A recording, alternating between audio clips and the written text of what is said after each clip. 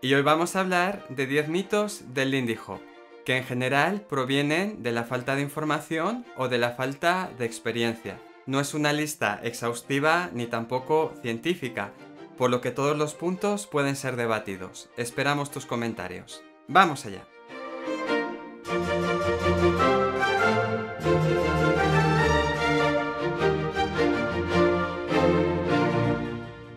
Antes de nada, si no lo has hecho, suscríbete pinchando en el botón de abajo. Nos va a ayudar a seguir en la brecha. Primer mito, sin talento natural nunca aprenderás a bailar. Pero ¿qué es el talento? A veces no es más que una forma en la que nos referimos a la experiencia previa de esa persona en bailes, deportes o actividades similares. Es normal que la persona que ha practicado ballet o algún deporte en su infancia tenga más facilidad para aprender un baile, pero tú puedes cultivar ese mismo tipo de talento si eres constante y te aplicas, te lo prometo. El talento no es más que una forma de referirnos a la experiencia o bagaje previo de esa persona. A veces la constancia y el esfuerzo superan al talento natural. Segundo mito, puedes ser un gran bailarín sin clases o entrenamiento. Es verdad que no todos los grandes bailarines toman clases regularmente, pero todos practican o entrenan de alguna manera. Puede que tengan un mentor que les oriente en el proceso o que solamente tomen clases y talleres sueltos, pero invertirán horas en su entrenamiento. Muchos de los que se enorgullecen de ser bailarines autodidactas pueden ser compañeros muy divertidos en el baile social, pero cualquier persona con formación advertirá su falta de técnica. Para ser un buen bailarín, o tomas muchas clases con un profesor competente o inviertes muchas horas en tu entrenamiento. No hay otra forma. Y además, ser bailarín autodidacta puede llevarte a la adquisición de malos hábitos que va a costar mucho desaprender. Es mucho mejor y más fácil aprender bien desde el principio que tratar de modificar una mala costumbre. Mito número 3. Ya sé hacer ese paso. En realidad no es así, lo has visto en algún vídeo, lo has aprendido en algún taller, has pasado por él por encima, pero no lo conoces íntimamente ni lo dominas en todos sus detalles. Te aseguramos que siempre hay margen de mejora. Si alguna vez en una clase o taller te enseñan ese paso que ya sabes, revisa tus fundamentos. Revisa los ángulos de tu cuerpo, tu frame, tu conexión, tus cambios de peso. Esto es especialmente importante en básicos como el swing out, que tiene la reputación de ser el básico más difícil de dominar.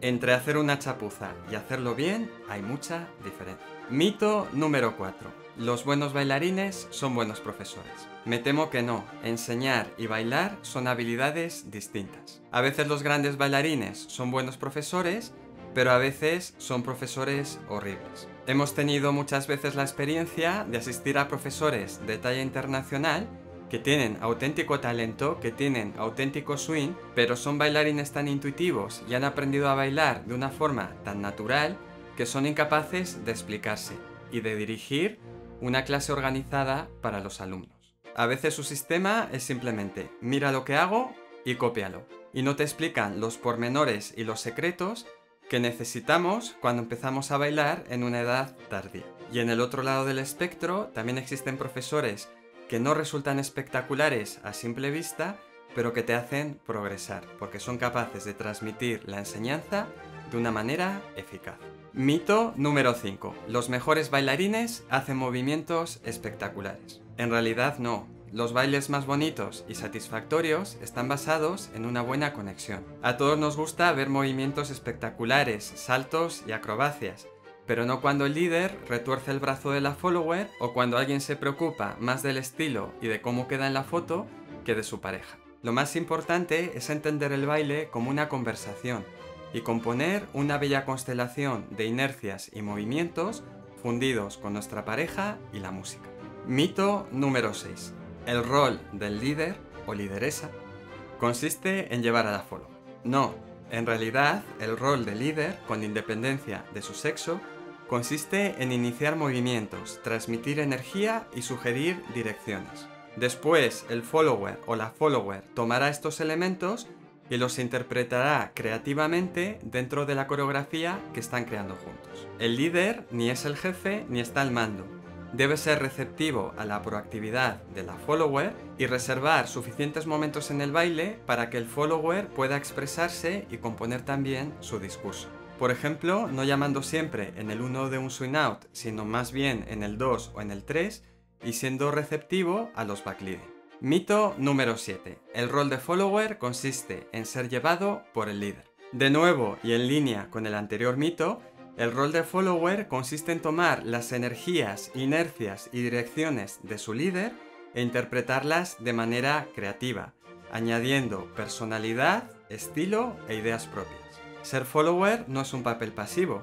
Os dejamos aquí arriba el artículo que escribimos al respecto. Aunque es un rol que reacciona más que inicia, toma constantemente decisiones y tiene poder para modificar el curso del baile. Mito número 8. El Indie Hop solamente es una actividad divertida. Desde luego que todos bailamos Lindy Hop porque lo pasamos muy bien, pero el Indie Hop en conexión con el swing y el jazz también es una forma de arte y de tradición con casi 100 años de historia a sus espaldas. Que el indie hop moderno sea una actividad popular e inclusiva no significa que no tenga una dignidad del mismo nivel que el ballet o el tango. Y dedicarse a conocer su historia, a sus principales personajes o las raíces afroamericanas del mismo solamente harán que nuestro amor por él aumente. Creemos que democratizar el indie hop y llevarlo a todos no está reñido con dignificarlo y dar cuenta de los pioneros que lo hicieron posible.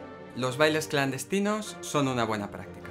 Los suelos de la calle, normalmente pavimento, asfalto, superficies que no son deslizantes, van a infligir un gran desgaste en nuestras articulaciones, especialmente en los cartílagos de las rodillas y en otros puntos articulares débiles, por lo que será más fácil lesionarse o ir desarrollando sin darnos cuenta un desgaste irreversible. Y además, al carecer de las propiedades de un suelo correcto, recordemos que lo ideal es un suelo deslizante de madera, estaremos obligados a bailar de otra forma, usar técnicas ahorrativas y pasos diferentes que van a deteriorar nuestra técnica. Y si eres principiante, tienes muchas más probabilidades de adquirir malos hábitos en este momento delicado de tu formación que si eres un bailarín con experiencia, que eres consciente de las decisiones que tomas y de cómo adaptar tu baile para bailar de manera segura y eficaz sin sacrificar tu técnica. Obviamente no estamos diciendo que no se celebren clandestinos, ya que son una práctica muy interesante para visibilizar y difundir el indie hop, pero sí que es necesario dosificarlos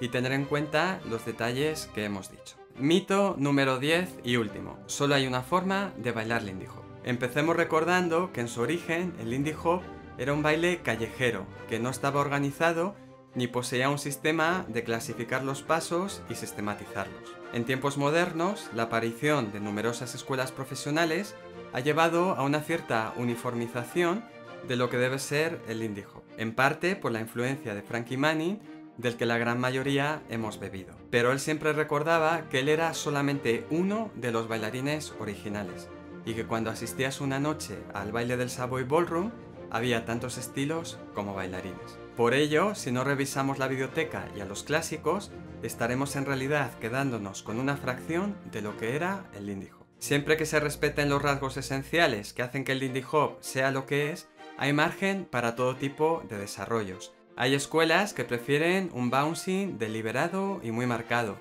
Hay escuelas que se decantan por variaciones rítmicas, otras prefieren las figuras.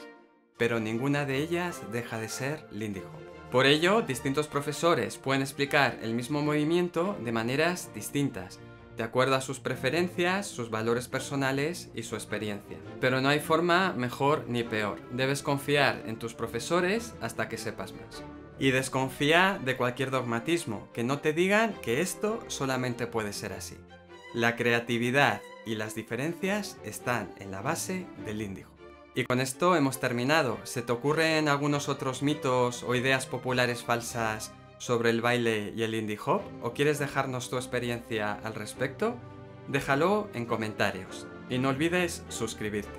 Un abrazo muy fuerte de cazador de mitos a cazador de mitos.